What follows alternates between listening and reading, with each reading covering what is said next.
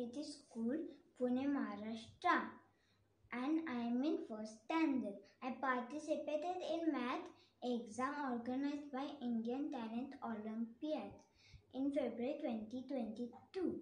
I got Best Performer Award with state rank 31 and I am very happy about it.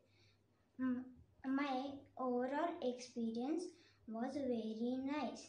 This get this gets good understanding while you prepare for the exam.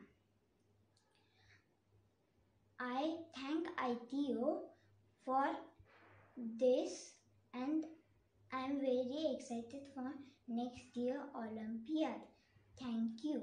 Congratulations to all the national winners, state winners, and all the participants.